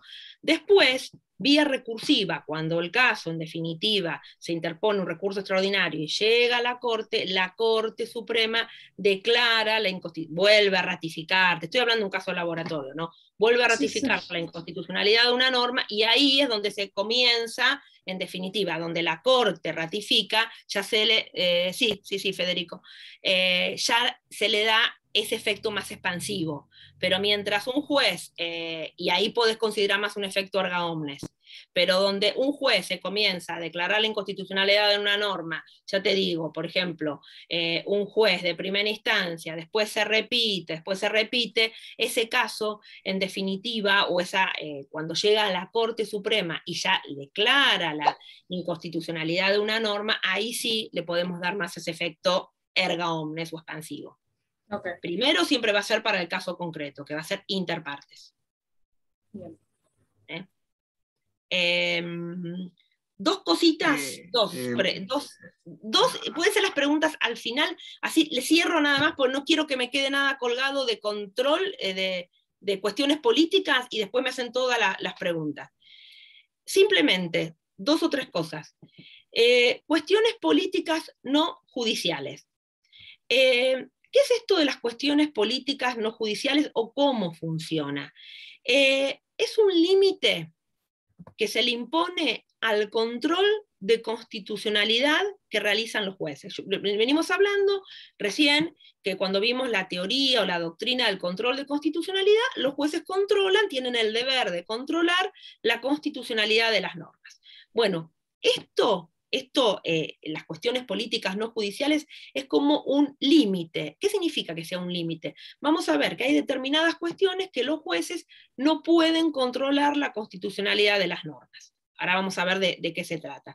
Entonces, ¿por qué o en base a qué los jueces no van a controlar la constitucionalidad de las normas, porque en definitiva son determinadas eh, eh, circunstancias, por decirlo de una manera, o, más que circunstancias, les quiero buscar la palabra justa, eh, competencia sería, competencia que, que son privativas de los otros dos poderes. Ahora vamos a ver de qué se trata todo esto. Entonces se sostiene que la plena justiciabilidad de todas las, las cuestiones, es decir, un poco como dice el artículo 116, en definitiva estaría violando o estaría modificando el principio de separación de poderes. Entonces, para ir entrando en tema, tenemos determinadas eh, competencias que corresponden a los otros dos poderes, me estoy refiriendo al Poder Ejecutivo y al Poder Legislativo, serían competencias privativas de los otros poderes y por ende sobre esas materias los jueces no podrían controlar la constitucionalidad de las normas. Eh, entonces les decía que la plena justiciabilidad de todas las normas, en definitiva, estaría, incluidas las políticas, lo que estaría eh, violando o alterando el principio de separación de poderes. Esta doctrina de las cuestiones políticas no judiciales es una doctrina como todo esto del control judicial difuso, que tuvo su origen en eh, Estados Unidos, luego nuestra Corte receptó esta eh, doctrina y a través, eh, como les estoy diciendo, es a través de vía jurisprudencial. ¿Qué les quiero decir con esto? Que como es a través de la jurisprudencia no tenemos ninguna norma que nos esté marcando qué, qué temas sí, qué temas no, sino que es por la propia jurisprudencia de la Corte donde se va ampliando toda la teoría o la doctrina de las cuestiones políticas. Ustedes van a encontrar parte de la doctrina está a favor y parte de la doctrina está en, contra. Eh, hay, eh, parte de la doctrina sostiene que al contrario, eh, que en definitiva no se viola o no se altera esto del principio de separación de poderes, sino precisamente se robustece el principio de separación de poderes y los jueces pueden controlar todas las materias, incluidas las políticas. Eh, porque ellos consideran que si no, serían casos de denegación de justicia, en los cuales los jueces no, no pudiesen controlar la constitucionalidad de todas las normas. Quienes están en contra de estas doctrinas sostienen que los excesos de los poderes políticos eh, no los tienen que controlar eh, los jueces, sino que lo tiene que controlar el pueblo a través del voto. Porque, ¿qué pasa? Si los jueces controlan todas las cuestiones, eh, incluidas las políticas, esto sería el establecimiento de un gobierno por parte de los jueces. ¿no? Entonces, ellos sostienen que cuando se produce un exceso, ahora vamos a explicar bien de qué se trata esto, me retiro, sí, no hay problema. Eh, Mauricio. Eh, si hay, eh, entonces les decía, si hay exceso en, la actuación de los poderes políticos, esto no tendría que, lo que dice parte de la doctrina, lo tendría que controlar el pueblo a través del voto y no con el gobierno por parte de los jueces, porque si no sería un establecimiento de un gobierno judicial, por decirlo. Entonces, para que se entienda como, como concepto o como idea, para ir entrando en el tema, eh, nosotros, eh, si bien el artículo 116 establece que todo el conocimiento y decisión de todas las causas, y que, que es el Poder Judicial, en definitiva, quien cuando dice conocimiento y decisión, sería que tiene que eh, es posible que el Poder Judicial revise todas las cuestiones, tenemos eh, una, como siempre les digo, una porción de la pizza, por decirlo de una manera para que se entiende, que serían las cuestiones políticas, en donde los jueces no revisan la constitucionalidad de, esas, eh, de esos temas. ¿Hasta ahí más o menos se entendió el concepto? ¿Quién define las cuestiones si son políticas o no? La Corte a través de su propia jurisprudencia. Bien y ahora, sí, y ahora, y ahora. Sí, sigo un poquito más y después me hacen todas las preguntas. Entonces, la postura para entender las cuestiones políticas, y en esto es bastante claro y se entiende bien la postura de eh, Quiroga Lavier. Él dice que, o, cuando habla de, para enganchar este tema, él sostiene que exceso, la palabra exceso es salirse de, dice Quiroga, ¿no? Un exceso es salirse de. Entonces, que cuando hay un exceso en el ejercicio de la competencia por parte de los órganos políticos, es cuando los órganos políticos exceden la competencia que la Constitución le asigna, ¿no? Esa es un poco la postura de él.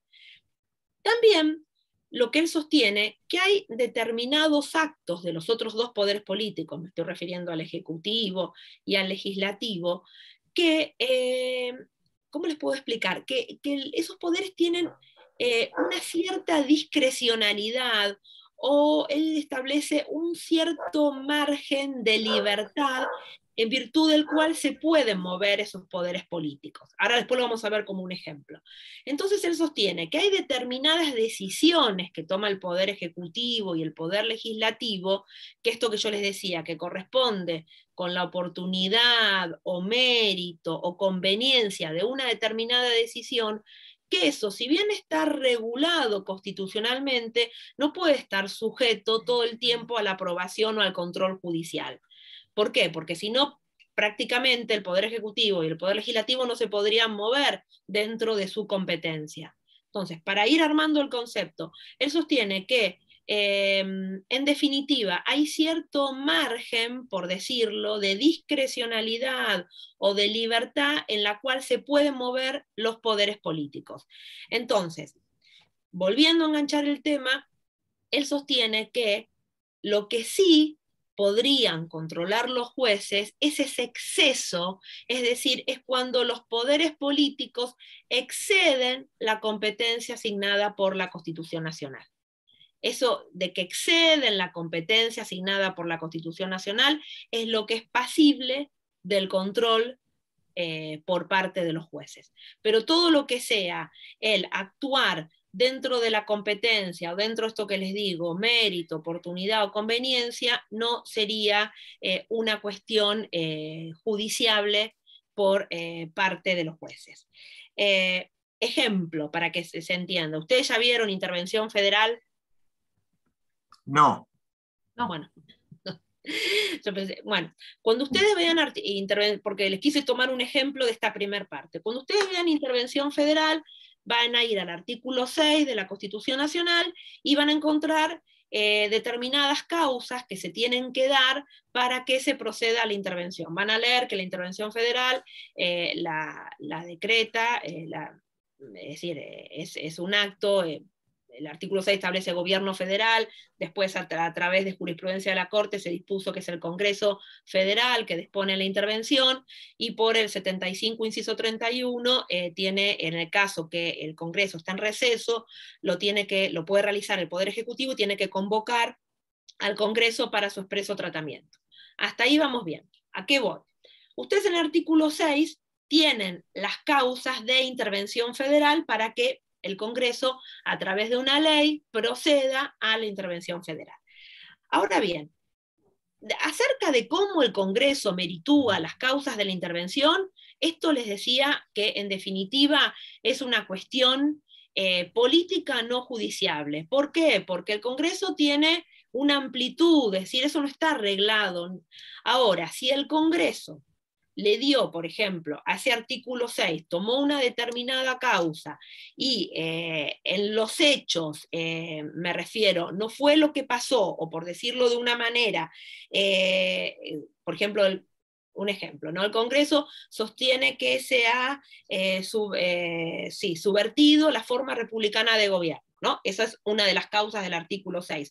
Pero en definitiva, después en los hechos lo que se dio que, no sé, que no pertenecía eh, al mismo partido político y eh, la provincia y lo que quería en definitiva es manejar la provincia. estoy poniendo como un caso medio laboratorio. En ese caso, es decir, que el Congreso, si bien estableció la causal del artículo 6, pero targiversó los hechos, eso sí es judiciable o, en definitiva, engendra una cuestión. ¿Por qué? Porque el Congreso se excedió de la competencia determinada por la Constitución Nacional. Ustedes van a ver que dentro de la Constitución hay determinados actos, acefalía, intervención federal, declaración de estado de sitio, en donde los poderes tienen amplio margen para tomar esas decisiones y eso no puede ser justiciable. Pero si el Congreso o el Poder Ejecutivo excede, por eso es, clara mm, la, postura de eh, Quiroga Lavie, si se excede de la competencia que la Constitución le asigna, por eso habla de exceso, eso sí es, eh, en definitiva, revisable judicialmente. Eso es un poco la doctrina o la política de las cuestiones. Y con esto termino.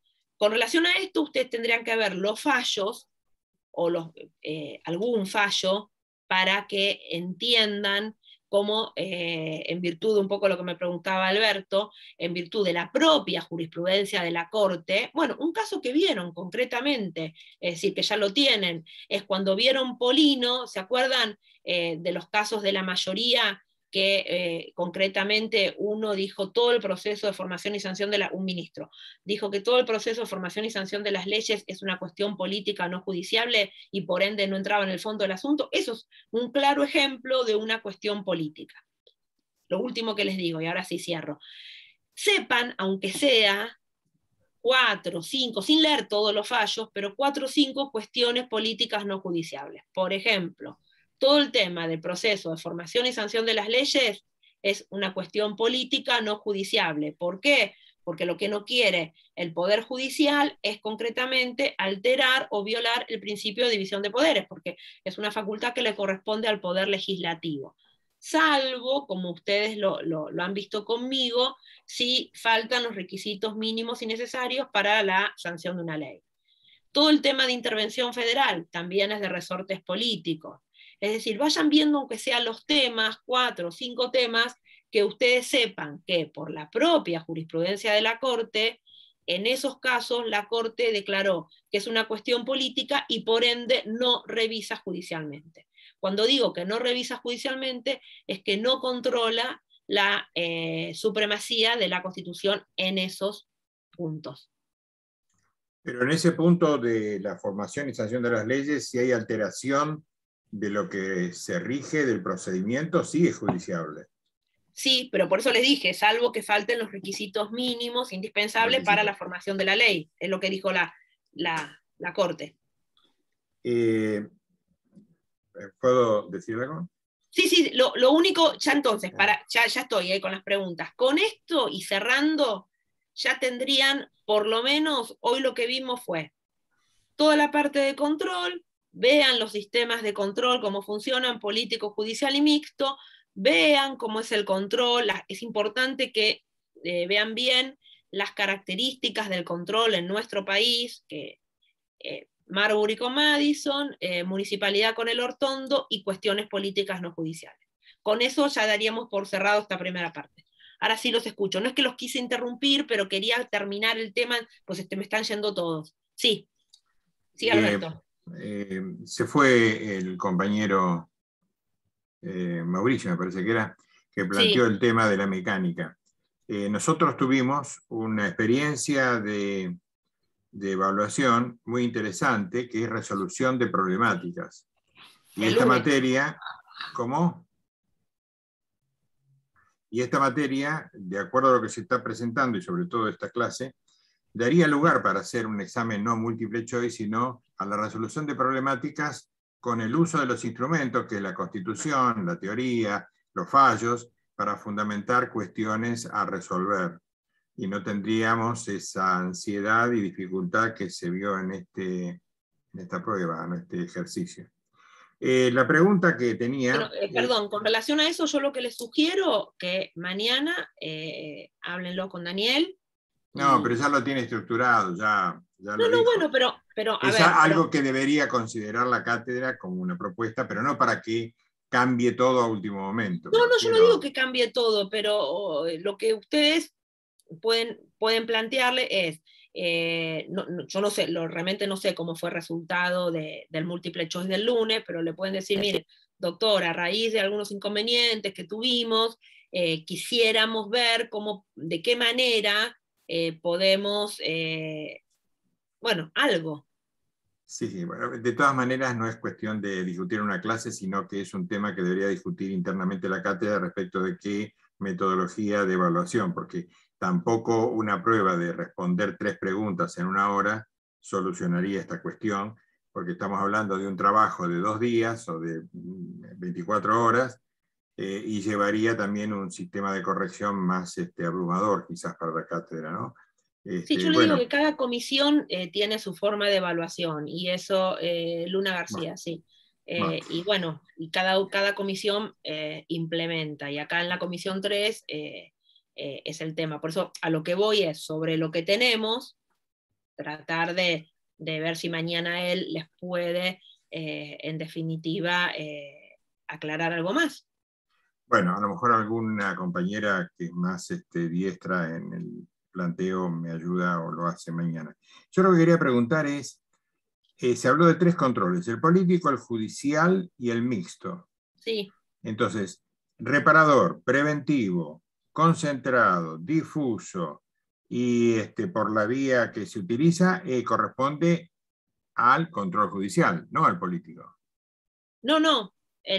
Yo les, expliqué bien que el político, eh, la subespecie es reparador y preventivo.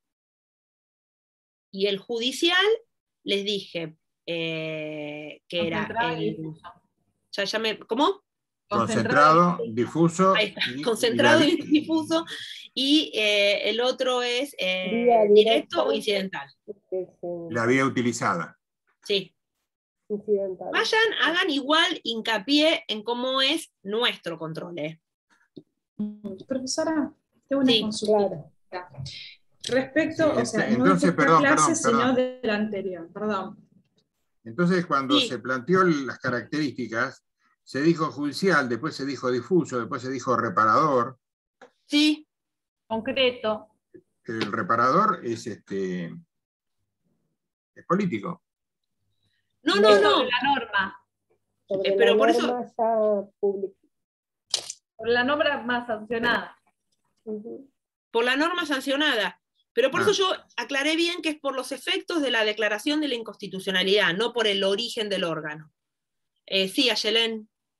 Sí, me querés preguntar respecto de la clase pasada que estuvimos viendo el tema de la, de la grabación, ¿sí?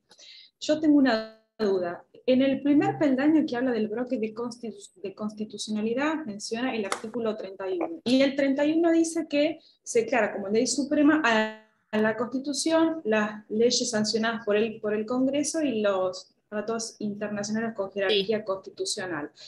Pero la duda es la siguiente, porque en, como es, en la BIE figura que, digamos, que en realidad em, digamos que el bloque, claro, digamos, si mencionamos el artículo 31 que incluye a las leyes sancionadas por el Congreso como el primer peldaño, en el tercero también menciona eso. Dice, no, no, no, pero, leyes federales y nacionales del Congreso. No, no, no, no, pero perdona. El 31 yo creo que se los expliqué. Antes de, de, la reforma de 1994 era el problema que tenía, que ponía todo en el mismo pie de igualdad. La constitución, las leyes, los tratados, todo eso prevalecía sobre el, eh, sobre el derecho de las provincias. ¿Qué pasó? ¿Cómo, yo creo que hasta le cité los artículos, cómo eh, antes, olvídate del 94, cómo los historiadores y, los, eh, un poco también la jurisprudencia, los doctrinarios trataban de solucionar el problema que tenía el 31. Poníamos la constitución primera y después hubo fallos antes del 94, donde se ponía a los tratados segundo y a las leyes tercero. Eso el 75 inciso 22 te lo resolvió. ¿Por qué? Por eso yo les dije, el, el 75 inciso 22 viene como aclarar el panorama, porque te pone en el primer peldaño a la Constitución Nacional, más los tratados internacionales de derechos humanos con jerarquía constitucional, más los que en un futuro el legislador, ustedes ya lo saben, los incorpora. jerarquía constitucional. En el segundo peldaño te pone a resto de los tratados internacionales. Y en el tercer peldaño te pone a las leyes del Congreso. Claro, pero como bloque de constitucionalidad incluye al 27, al 28 y al 31, y el 31 incluye a las leyes sancionadas por el, Congreso. Pero Entonces esa era mi duda, ¿por qué figura como bloque de constitucionalidad arriba? O sea, como no, bloque, no, pero, eh, sí. no, no, pero separado, vos tenés que distinguir eh, el bloque de constitucionalidad, luego de la reforma del 75, inciso 22, es la Constitución más los tratados internacionales de derechos humanos. Las leyes, la, ley que sanciona el Congreso, con este procedimiento que lo hemos visto siempre, es eh, una ley del Congreso, lo vas a tener en el tercer peldaño. porque, ¿qué pasa? Eh, en el segundo peldaño ya vas a tener arresto de los tratados internacionales. Acordate que hasta yo le cité, y calculo que lo vieron con Daniel, hubo un fallo, porque el problema eh, lo tenía el 31, que ponía a todos en el mismo pie de igualdad. Claro. Pero entonces por eso, ¿cómo hacíamos antes del 75, inciso 22? Tratamos de con el 27, el 28, ir armando un poco, porque nunca las leyes van a estar con la Constitución en el mismo pie, en, en la cúspide. Bien. Sí, lean bien el 75, inciso 22. Ok, listo. ¿Eh? Bien. Acordate siempre que en el, en el primer peldaño tenés la Constitución Nacional, más los tratados internacionales de derechos humanos con jerarquía, más aquellos tratados también de derechos humanos que él, eh, a través del procedimiento del 75, inciso 22, el legislador le otorgó jerarquía. Nada más. Bien. Después vas a tener el resto de los tratados internacionales y después las leyes. Porque otra cosa Claro. interesante que te dijo el 75, inciso 22, que los tratados, inter- los tratados internacionales tienen jerarquía superior a las leyes. Entonces ahí eh, es como que lo que te hizo el 75, inciso 22, es como ubicar a cada uno en su lugar, Ordenó, claro. Ordenó. tal cual, Claro. ordenó. Las leyes las bien. tenés en el tercer peldaño. Bien. Bueno, chicos, eh, quedaron, me río porque quedaron pocos. Bueno, yo los voy a ver, después les comento en el grupo, los voy a ver recién, espero verlos a todos, eh, recién en noviembre. Eh, ya arreglé con Daniel porque me voy de viaje, pero no van a quedar, no van a tener ninguna clase sin dar porque nos vamos a, a reemplazar en las clases. Así que conmigo recién en noviembre vamos a encarar la, la segunda parte, voy a ver qué, qué temas me tocan, pero eh, insisto, no pierden las clases porque no, nos reemplazamos mutuamente, así que bueno, vamos. Porque el miércoles que viene no estás entonces. No, el miércoles que viene eh, lo- yo lo que lo planteé es terminar con, todavía no sé si estoy o no, pero lo Ah. que planteé es eh, terminar hoy con todos los temas y que ustedes lo utilicen, si tienen alguna consulta, escriban en el grupo, pero que ustedes lo, atento, que es un día antes del parcial, por eso yo quise como hoy darle todos los temas, como para no estar dando temas nuevos un día antes del parcial. Esa era la idea de- del miércoles que viene. Eh, acuérdense eh, de, esto que veníamos hablando y bueno, yo creo que también eh, me parece que es válido si mañana algo más pueden hablar con, con Daniel. No, yo qué sé, no dejen a uno solo hablando, vayan como apoyándose y vayan No. como que sea, eh, ver, hagan caso- causa común. En mi caso, por, por lo menos lo que yo opino es que es precisamente es una materia que se tiene que hablar, que se tiene que explicar, ya sea escrito o oral, ¿no?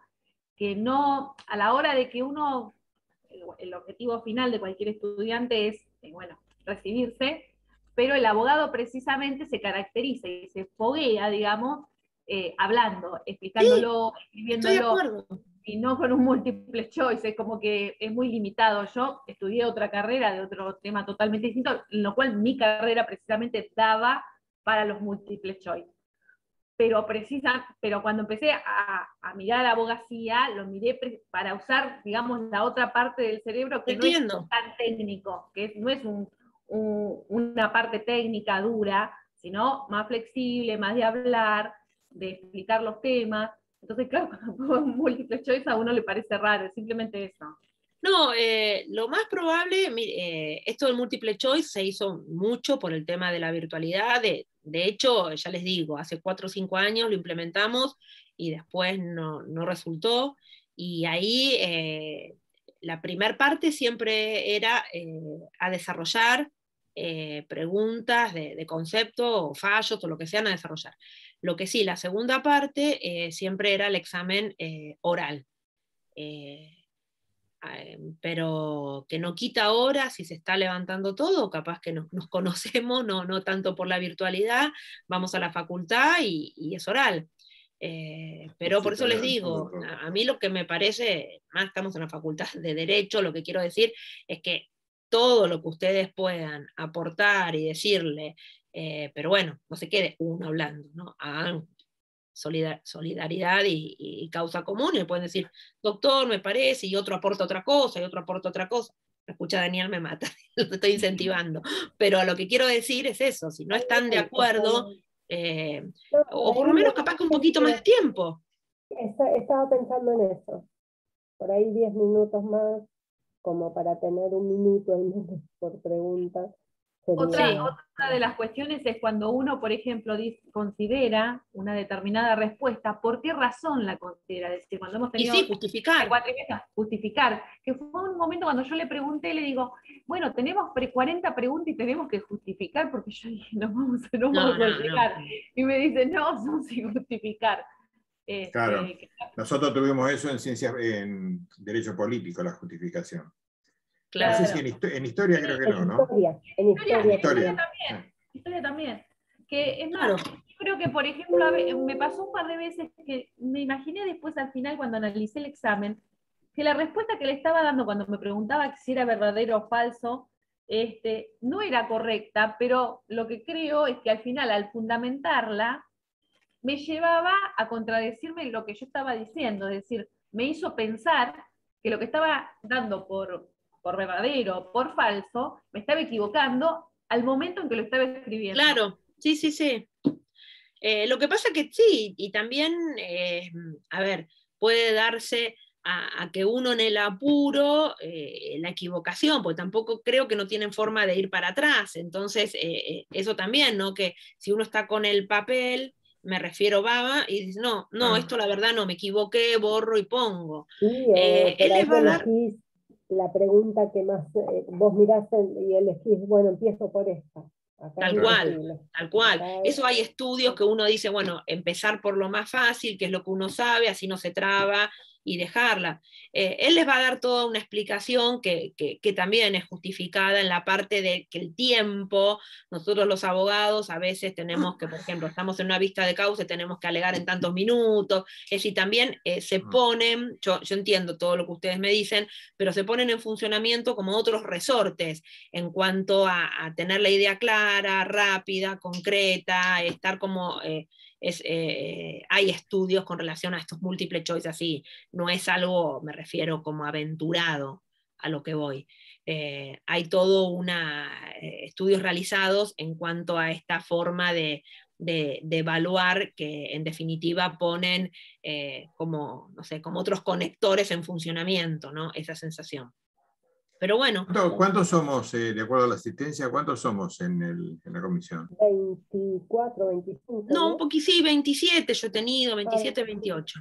Bueno, pero con ese número, un trabajo de elaboración, una super mini tesis, digamos, de 24 horas o 48, como tuvimos el ejemplo nosotros en, en la teoría, general, del derecho, eh, permite mejor aprendizaje, porque hay que manejar este, el texto constitucional, hay que manejar teorías, este, Excelente. Eh, eso sería, yo creo que era un número muy grande, pero siendo este número se puede corregir un trabajo de tres, cuatro hojas o de dos hojas resolviendo dos o tres cuestiones.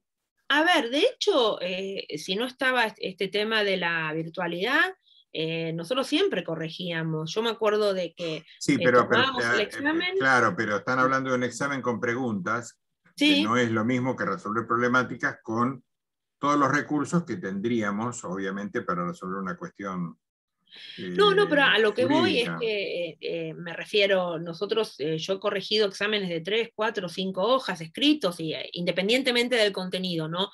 A lo que voy es que por corregir no es el problema. Acá se nos complicó con el tema de, la virtualidad.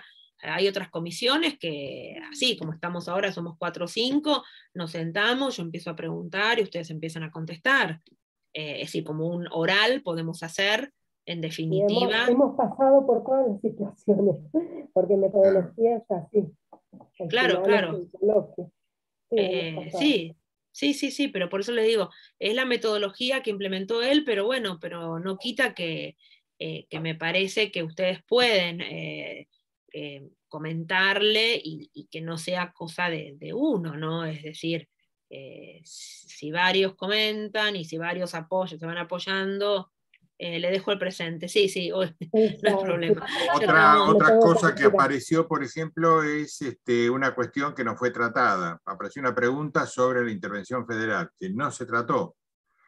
bueno, pero todavía tienen clases con él. No, no me refiero a eso. Me refiero ah. a que si aparece en el instrumento una pregunta de algo que no se trató, lleva más tiempo porque distrae y uno se queda ahí expectante a ver esto lo mismo, no lo mismo, ¿cómo es? Ese es el Claro, otro bueno, problema ustedes- de este tipo de instrumento. Sí, pero, pero perdón, eh, va- vamos a ser justos, ustedes no es solamente los temas que se tratan en, en las clases, es decir, ustedes tienen No, un no, programa, no, no. tienen que ir a todo. Sí, está bien. pero Además fue, fue una práctica en realidad, no era un parcial, algo Claro, que- que- claro. que tener como Bueno. para entender. Capaz que alguna se repite. Veremos. Bueno, por eso. Bueno, Bueno, Bueno, fuerte a todos, eh, hablen las cosas. eh, Buen viaje. Espero Buen cuando viaje. vuelva que todos, eh, no quedarme Que con cuatro o cinco. ahora ya, ya que, ya que alcahueteaste, ¿a dónde te vas de viaje? Eh, se recibió mi hija de abogada en julio, así que les digo, la virtualidad las tengo eh, re clara, eh, porque ella todas las materias del dos, dos años, todo con virtualidad tuvo que hacer. Les diría más, estuvo hasta, eh, me refiero, le tomaban así virtual y le hacían levantar la computadora, que no tengas nada atrás, que no tenga nada al costado, es decir, la- las pasé todas con la virtualidad.